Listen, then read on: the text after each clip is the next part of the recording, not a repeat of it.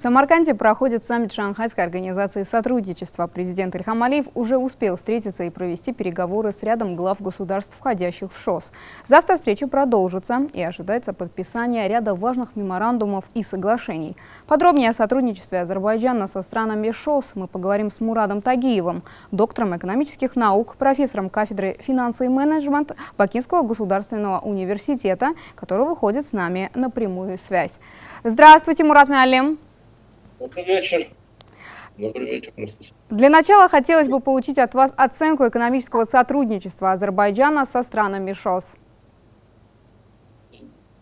Географически Азербайджан э, находится в Евразии, и ему э, одинаково э, интересны как европейские рынки, так и азиатские рынки.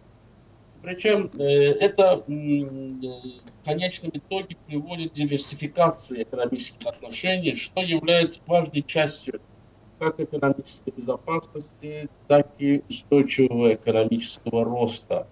И если э, европейские страны больше интересуются нашей сырьевой составляющей, то с азиатскими странами, со странами ШОС мы можем строить свои Э, внешнеэкономические отношения на готовой продукции. Ну, э, в эти страны входит и Турция в том числе, и Китай, с которым у нас очень э, близкие экономические отношения. В любом случае, это диверсификация экономических отношений, а это на пользу.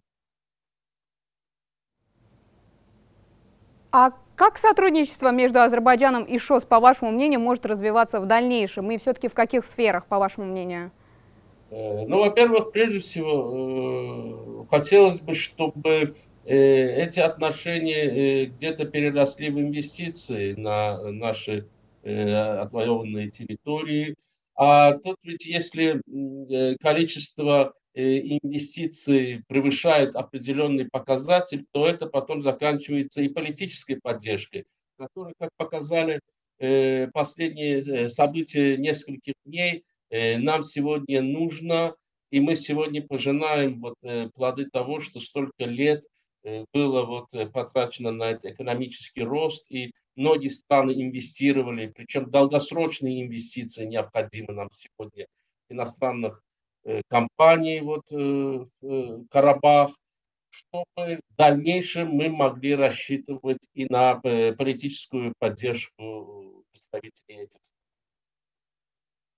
Ну, еще, конечно же, вот на территории вот, Карабаха, через территорию Карабаха, а также вот Зангизурский коридор, это вот одно из направлений Э, развитие нефтяного сектора экономики, это транспортно-логистические, создание транспортно-логистических центров, что э, является э, немаловажным фактором организации бизнеса. То есть это есть логистика.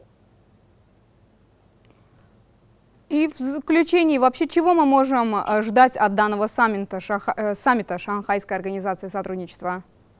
Э, ну, во-первых, конечно, хотелось бы в первую очередь э, политической поддержки вот, в связи с последними событиями.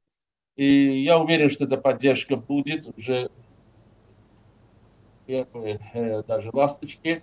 А вот э, еще, конечно же, инвестиции. Инвестиции, долгосрочных инвестиций, что необходимо нам.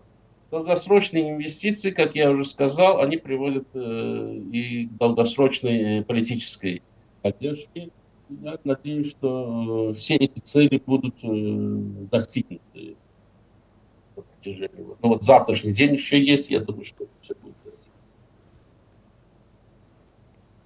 Благодарю вас, Мурат Мялим. Спасибо вам большое за такой подробный комментарий. Благодарю вас. Всего доброго. До свидания. Спасибо и вам. О сотрудничестве Азербайджана со странами ШОС мы говорили с Мурадом Тагиевым, доктором экономических наук, профессором кафедры финансы и менеджмент Бакинского государственного университета.